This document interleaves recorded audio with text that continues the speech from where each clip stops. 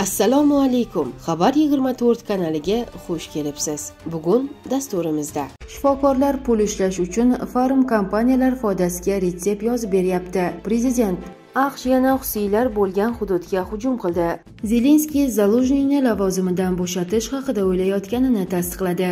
Umraga borgan o'zbekistonliklar turistik firmalar sabab ko'chada qoldi. Isroil falastinliklar o'rniga o'zbekistonliklarni ishga jalb qilmoqchi o'zbekistonning bir qancha hududlarida qor ko'chish xavfi e'lon qilindi. Endi esa shifokorlar pul ishlash uchun farm kompaniyalar foydasiga retsept yozib beryapti. Prezident prezident raisligida ijtimoiy sohadagi ustuvor vazifalarga bag'ishlangan yig'ilish bo'lib o'tmoqda. Yig'ilishda davlat rahbari farmatsevtika sohasiga to'xtalib o'tdi. Qayd etilishicha o'zbekistonda farmatsevtika bozori hajmi 2 milliard dollarga yetdi. Lekin bu bozorda mahalliy mahsulotlar ulushi fizik hajmda 40-45 foiz bo'lsa bo'lsa-da, pul qiymatida 20 foizdan oshmaydi. Oddiy qilib aytganda, o'zimizda ishlab chiqarish bint, spirt, shpris, analgin va sitramondan nariga o'tmayapti. Dorilarning yashirin aylanmasi bo'yicha yetarlicha choralar ko'rilmayapti. Dori vositalaridan foydalanish madaniyatini yuksaltirish ishlari sustligi ko'rsatib o'tildi. Ayniqsa, antibiotiklar qabul qilish ustidan nazorat umuman yo'q. Protokollarga amal qilmasdan pul ishlash uchun farm kompaniyalar foydasiga retsept yozilyapti. Bundan xalqimizning sog'lig'i ham cho'ntagi ham zarar ko'ryapti dedi prezident. Umraga borgan o'zbekistonliklar turistik firmalar sabab ko'chada qoldi. Qalampir o'z tahririyatiga umra amalini bajarish uchun makka va madina shaharlariga borgan va o'zbekistonga qaytish bilan bog'liq muayyan qiyinchiliklarga duch kelgan o'zbekistonlik ziyoratchilarning murojaati kelib tushdi. Shuningdek ijtimoiy tarmoqlarda ham ularning sarson bo'layotgani mehmonxonalardan chiqarib yuborilayotgani aks etgan videolar ham tarqalib ko'plab noroziliklarga sabab bo'lmoqda. Holat yuzasidan o'zbekistonning jidda shahridagi bosh konsulxonasi munosabat bildirdi. Bosh konsulxonaga ko'ra o'zbekistonliklarning safarlari xususiy sayyohlik kompaniyalari tomonidan tashkil etilgan. Mazkur holat aviaqatnovlarni amalga oshirishdagi texnik nosozliklar shuningdek turistik kompaniyalarning bu kabi safarlarni tashkil etishda zaruriy malaka va tajribaga ega emasligi tufayli yuzaga kelgan. Hozirda o'zbekiston respublikasi transport vazirligi va boshqa mutasaddi idoralar bilan birgalikda yurtdoshlarimizni qaytarish bo'yicha barcha chora choralar ko'rilmoqda. Qo'shimcha reyslar jadvali tuzildi deyiladi xabarda. Joriy yilning 4 fevral holatiga ko'ra ziyoratchilarning bir qismi o'zbekistonga qaytarilgan. Qolgan fuqarolar ham yaqin fursatlarda o'zbekistonga yuboriladi.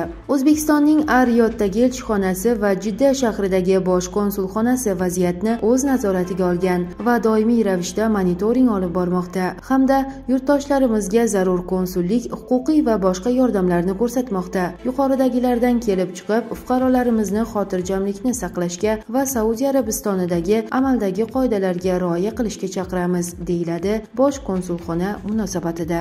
Eslatib o'tamiz farg'onada haj ziyoratiga yuboraman deb odamlarni 15 ming aqsh dollariga chuv tushirgan shaxsga hukm o'qilgandi. Isroil falastinliklar o'rniga o'zbekistonliklarni ishga jalb qilmoqchi.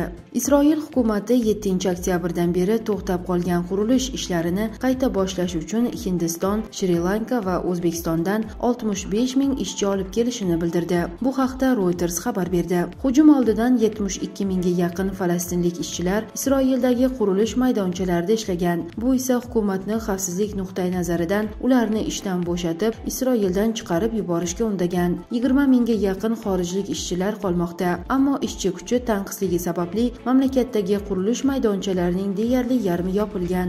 Isroil uy joy vazirligi vakilining so'zlariga ko'ra kelgusi haftalarda chet ellik ishchilarning yangi guruhlari kelishi kutilmoqda. Chunki hukumat foiz stavkalari pasayishi boshlagani sababli ko'chmas mulk narxlarini qayta tiklash xavfini tug'diradigan ta'minotni to'sib qo'ymaslikka harakat qilmoqda. Eslatib o'tamiz o'zbekiston qatar bilan ishchilarni ishga qabul qilish bo'yicha hamkorlik qilishi haqida xabar berilgan edi.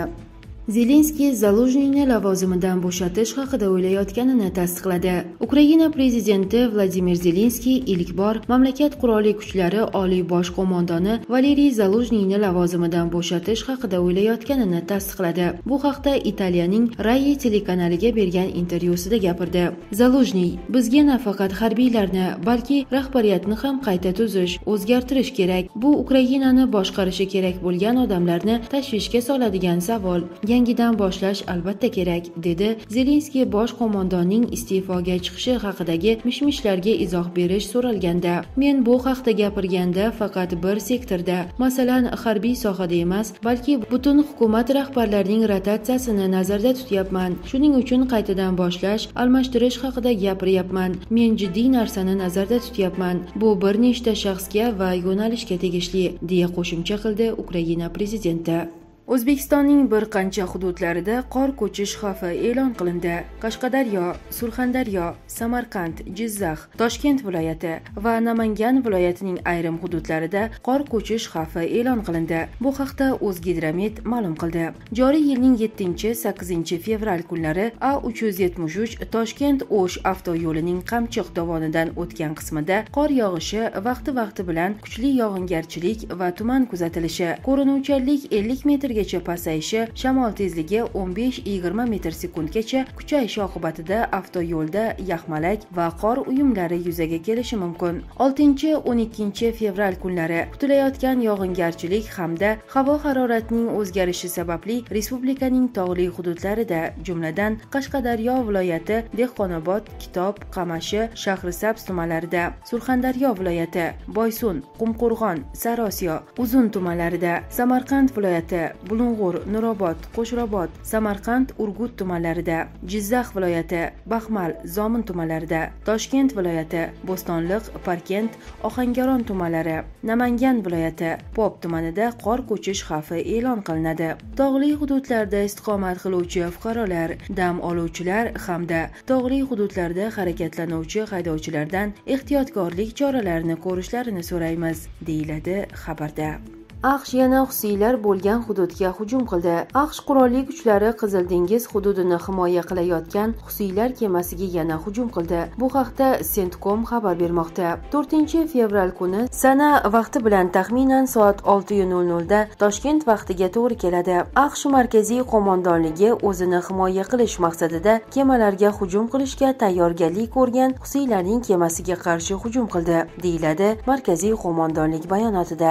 Eslatib o'tamiz qilamiz. Yamanning qizil dengiz sohillarining katta qismini nazorat qiluvchi ansor alloh husiylar harakati avvalroq isroil bilan bog'langan har qanday kemaga hujum qilish niyati haqida ogohlantirgan va boshqa davlatlarni o'z ekipajlarini ulardan chaqirib olishga va ularga yaqinlashmaslikka chaqirgan edi.